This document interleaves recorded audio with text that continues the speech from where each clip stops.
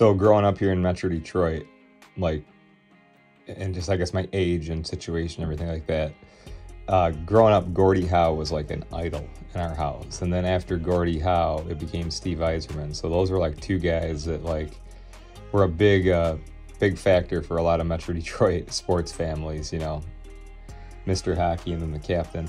But like this is neither one of them, right? But this is the I'd have to look it up. I think it's a 50. It's I know it's a Park Parkhurst card, Parky. It's a 51. I, I one day I want to get a Gordie Howe rookie, and naturally, you know me, I don't want to buy like the best one available. I want to buy one that needs some work. So I picked up a few of these. I, I got a couple of these here, and um, that I picked up off eBay just for a couple bucks. So leave it up to me to get one that's like horrible. I, I didn't even see. I didn't even know it was like this on the picture. I think it was just like I don't even know what that guy was doing. But anyways, let's give it a shot. So a lot of the Gordie Howe cards I'll see, they're they just kind of are all dark and dingy like this. Not I would never buy one that has this on it because I don't even know what our chances are of getting this off. But let's do it together. So uh, let's we'll do top up. But I've never worked with one of these before, so this is why I love base cards. So let's see what the heck happens. I don't think a lot's going to happen right away, but I just want to test this Parkhurst card to its limits. I want to see, and not even really its limits, I guess. I just want to see how it responds to soaking. I want to see if we can get the borders lighter. You know, I want to see, well, since this, since we got this one and it has all this crap on it, I want to see if we can get any of this stuff off. It'd be cool to get, I, it'd just be cool to make any steps, you know what I mean? So I'm just going to quit fidgeting with this. We're going to leave this here. And I'm gonna leave my phone right here, my camera right here, and I'll turn this on here. Not too long, and we'll see what the heck happens next. All right, I have to admit I lost a little track of time. It's between 35 and 45 minutes I've had it in here. It's wet, you, you can see that. And you can see some stuff floating off the back. So this is my base card because I wanna own a Gordie Howe rookie someday.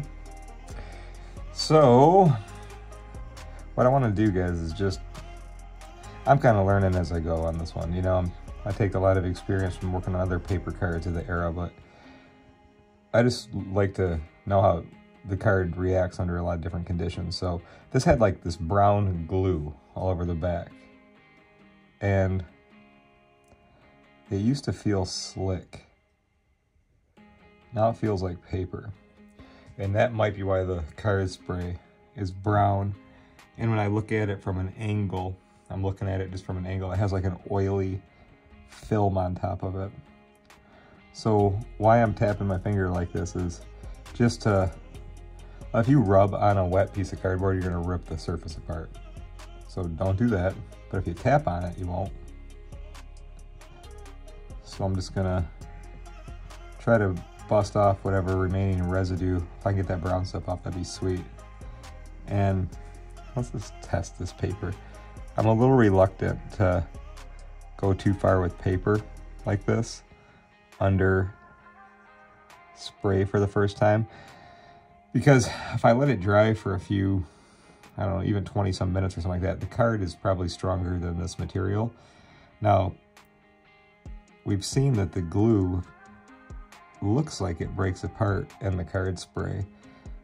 So since the card's still going to be wet, when I take it out, the card spray is going to still be penetrating on this glue. And I'm probably just going to try to remove it little pieces at a time versus trying to scrub it all off right here. I got most of this uh, brown resin or rubber cement or whatever it may be. So let's just see what we got here. The front, I mean, there ain't much on the front. It'd be cool if it lightens up. So look how, that's our grody plate of solution. So the card spray did its job. Let's just hope it's enough.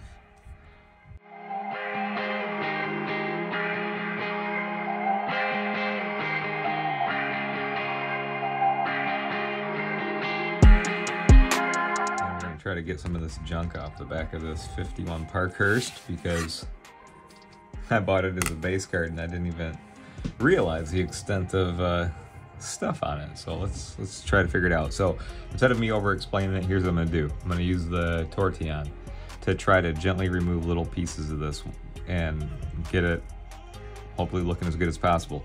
If you see me stop, it's because I don't like uh, I don't like where I'm at. I don't think it's loose enough and I don't want to pull off the surface. So I would, you know, leave that part for now and come up with a plan B. But in the meantime, let's just see what we can do. Thank you.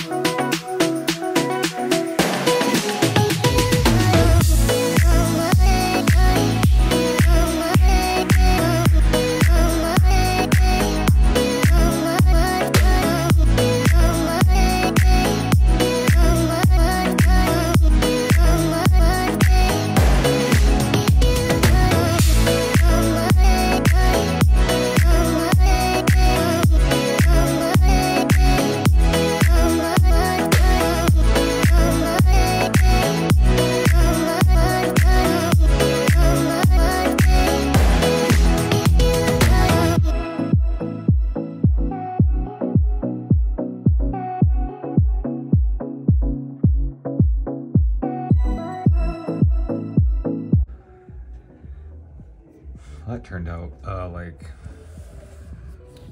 awesome. All right, so we're not done yet. Let's let's keep rolling.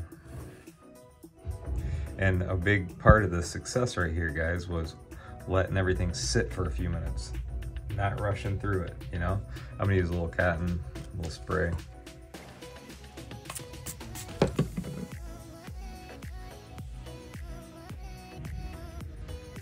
Kind of go in here and tap and get some of this junk off. As much as you want to scrub on it, don't do it. Because we went through all that and look at the whole back is safe.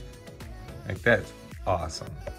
That is, you couldn't ask for anything better when you're removing, you know, 70 year old glue potentially or whatever, you know? See, look at that. This thing's super dirty. So now I'm gonna go back to card spray. I wanna clean this a little bit more.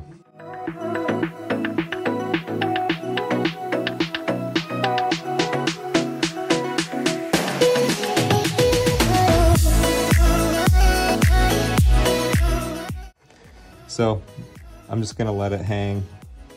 And so what I've learned is like most stuff built in the 50s, these things are not wimpy. It's a resilient, nice card. They look old and fragile, but they're sturdy. So I'm just doing this to get like whatever, you know, that was trapped. This stuff trapped a bunch of glue and junk in there. And just through that scraping, we got a bunch of it off, just light, light scraping. Look how awesome that back turned out. All of that was on here. And front looks cool, right? We'll be fine with that. So let's get this out of here.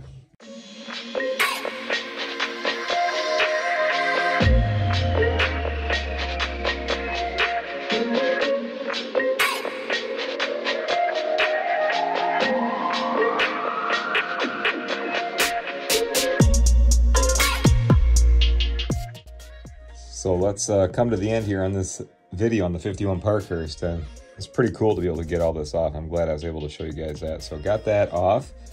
Um, worked as hard as I could to get this junk off the back. I'd uh, soaked the card a couple times. And um, stuff is pretty pretty tough, but I'm excited to show you guys. Uh, I learned a lot. I learned that the 51 Parkhurst are strong, resilient cards. Um, this card was a mess. Um, got a lot of the surface stuff off, the big staining. Got all that junk off the back. Well, you know, all that junk. And it, I got a decent amount of the, uh, the, the glue and crud, but this shows you, man, some of that stuff is baked in there. So if you're going to buy a, a Parkhurst card or any cool, uh, you know, retro project, try to avoid a ton of glue. You know, that's sometimes, you know, you can't get all that off. But paper, guys, you know, it's worth it. Give it a shot. And um, I hope you had fun watching this one. I really, really enjoyed it. I can't wait to get my Gordie Howe rookie someday. And if it needs some work, I'm uh, I'm ready for the job. I'm Kurt with Kurt's Card Care.